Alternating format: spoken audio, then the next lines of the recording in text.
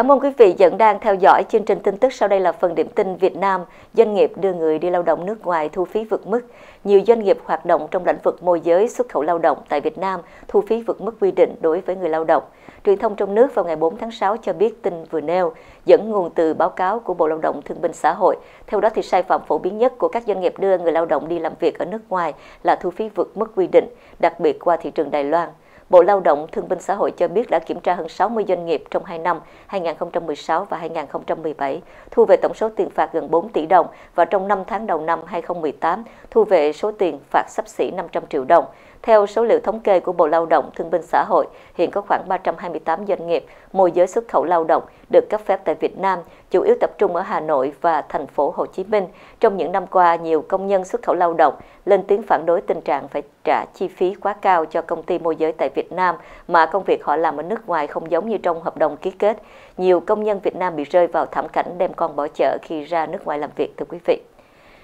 Việt Nam yêu cầu Trung Quốc và Philippines ngừng leo thang căng thẳng ở Biển Đông. Việt Nam kêu gọi Philippines và Trung Quốc hãy ngừng làm phức tạp hơn nữa tình hình ở các bán đảo đang tranh chấp tại Biển Đông mà Manila gọi là Biển Tây Philippines. Báo mạng ngôi sao Philippines loan tin vừa nêu vào ngày 4 tháng 6 dẫn lại phát biểu vào ngày của Bộ Ngoại giao Việt Nam yêu cầu Philippines ngừng sửa chữa một đường băng cũ trên đảo Thị Tứ mà Philippines gọi là Park Asa, một trong chín thực thể mà Manila đang kiểm soát trên quần đảo Trường Sa nơi Việt Nam cũng có tuyên bố chủ quyền. Theo Thông tấn xã Việt Nam, Bộ Ngoại giao Việt Nam đã yêu cầu chính phủ Phi kiềm chế và tuân thủ tuyên bố ứng xử tại Biển Đông để ngăn chặn tình trạng ngày càng thêm căng thẳng. Hà Nội cũng kêu gọi Bắc Kinh hãy ngừng tiến hành các bài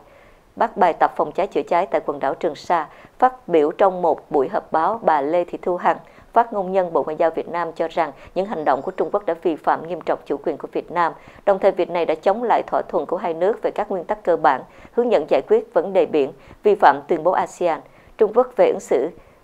các bên trong Biển Đông, Việt Nam đã yêu cầu Trung Quốc rút thiết bị quân sự khỏi Biển Đông sau khi có thông tin Bắc Kinh đưa tên lửa hành trình chống hạm và tên lửa đất đối không đến ba căn cứ tại quần đảo Trường Sa. Bên cạnh đó thì Bắc Kinh cũng bị cáo buộc vi phạm chủ quyền của Việt Nam sau khi cho hạ cánh một máy bay ném bom trên đảo Phú Lâm, tiền đồn lớn nhất Trung Quốc ở quần đảo Hoàng Sa.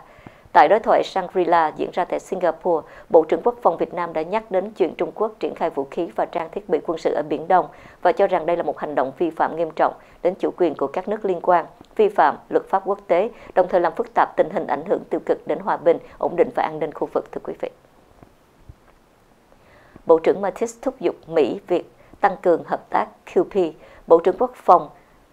Mỹ Jim Mattis hôm 1 tháng 6 nói là nước ông đang cân nhắc việc bàn giao máy bay huấn luyện và các thiết bị khác cho Việt Nam để tăng cường quan hệ giữa quân đội hai nước. Gặp gỡ bên lề diễn đàn an ninh Shangri-La ở Singapore, ông Mattis nói với Bộ trưởng Quốc phòng Việt Nam Ngô Xuân Lịch rằng Mỹ muốn ký các văn bản để đặt nền tảng cho những hợp tác hơn nữa. Bộ trưởng Lịch hoan nghênh việc Mỹ phối hợp liên tục để sớm khởi động dự án xử lý dioxin tại sân bay Biên Hòa, cũng như trợ giúp Việt Nam triển khai một bệnh viện đã chiến và một đơn vị công binh thực hiện nhiệm vụ gìn giữ hòa bình của Liên Hiệp Quốc. Quan hệ quốc phòng giữa hai đối thủ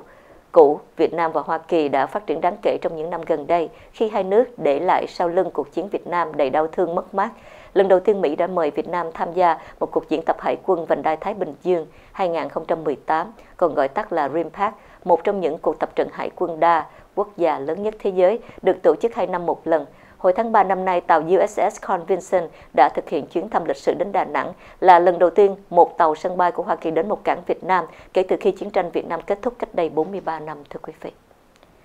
Vừa rồi là phần điểm tin thế giới Hoa Kỳ và Việt Nam. Jenny xin thân ái tạm biệt quý khán giả của Đài truyền hình Việt Mỹ. Chúc quý vị có một ngày an lành và hạnh phúc.